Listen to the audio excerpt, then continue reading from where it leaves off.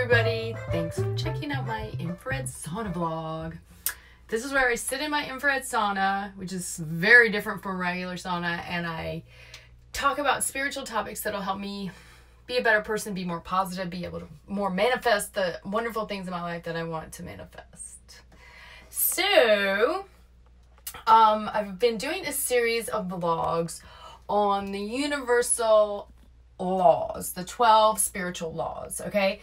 And we've worked our way through and we are on today. And just for anyone that's just tuning in, the 12 spiritual laws are basically 12 very informative and very helpful quote unquote laws about how energy works in the universe and specifically in our well in the universe but see we have to be very conscious of energy even in this very low vibrational place because if you don't use these universal laws to manifest to help you manifest it's going to be like moving through the mud and the quicksand and never get anything done furthermore the general energy about these days is pretty dang negative and pretty damn low vibration. So it's very easy, unless you're using these spiritual laws to raise your vibration, to help raise your vibration, or to understand why it's so important to keep your vibration high.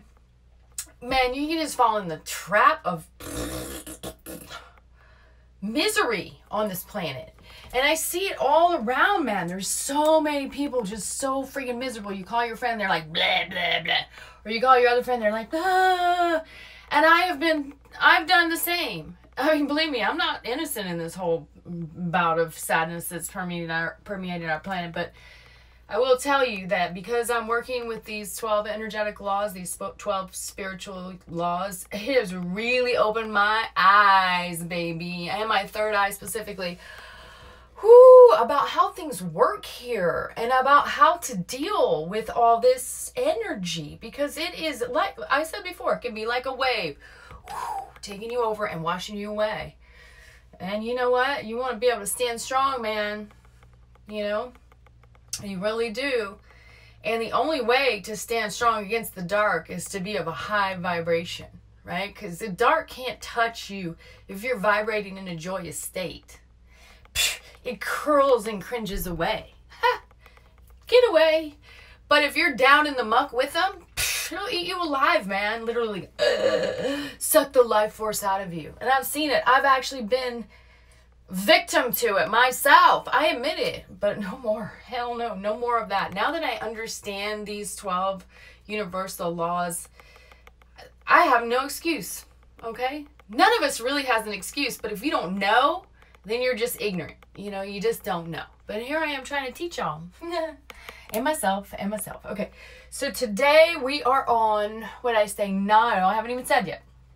The universal law that we're going to study and talk about today is the law of relativity. Okay, so this is actually takes a little bit more thought and understanding to really grasp. Okay, but it basically everything you can't make an example of one thing without having another thing to compare it to. For example, your life experience is your perspective. And so, in your world, having something happen is only relative really to your life experiences, right? And usually, our greatest fear is wound up in our greatest power in a way so that the universe is trying to help you get past your greatest fear. And it's this relativity because, you know, one person's perspective is going to be completely different than another's. So, and another example is say, you can't experience pure joy unless you've experienced pure fear. So it's like, what's your relative comparison? what perspective are you coming from, right? And if you change your perspective, you can change the relative nature of your whole existence, okay? And that's one of the really benefit beneficial things about being of service and looking at people with less than than you because their perspective and their relativity of how they see the world and what is relative to them is clearly going to be different than somebody with, you know, a huge amount of abundance. Even though the person with the abundance may not see it because it's all about perspective, too. See? So, the theory of relativity is really important to keep your sensibilities about you because you can be like, oh my God. One time, a very, very, very wealthy man told me one time. He said, and this I, at the time I thought, what the hell is he talking about? The stupidest thing I ever heard. But it goes back to this um, universal law of re- relativity. And I may have said in my ramblings just now theory of relativity, which is an Einstein theory, which I believe is based in the universal law of rel- relativity. So he, this wealthy man said to me, long ago, he said, the anxiety that a woman feels trying to find a meal for her family is the same or can be the same level of an anxiety that a wealthy woman has when she doesn't have enough place settings for her dinner uh, event. And I thought, that's the. How could that even be compared? And it's talking about the level of fear or anxiety that somebody feels, right? But it's based on their relative experiences, right? And so change your perspective and you can change your relativity.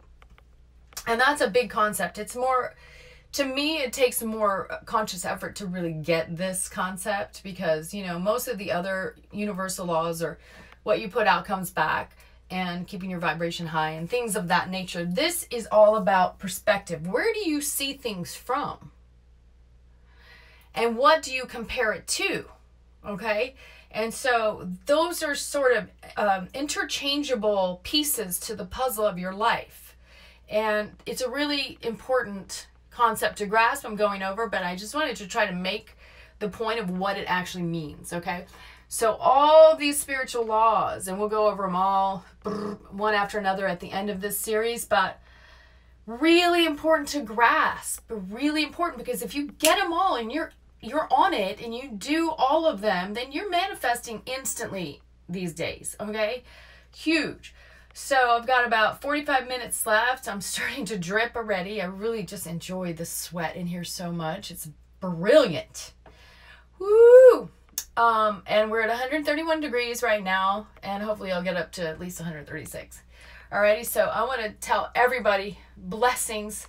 Thanks for sticking with this. These concepts are not always easy to take to heart, and certainly not always easy to implement if you're used to doing something completely off, opposite or different. So please reach out if you have any questions and i'm willing to do free short readings for people really desperately need and also please subscribe it really really really would whoo, make a huge difference just because I want to help people so much and it really you know, it's a great way to keep in contact, okay? So, everybody, blessings, blessings, blessings, and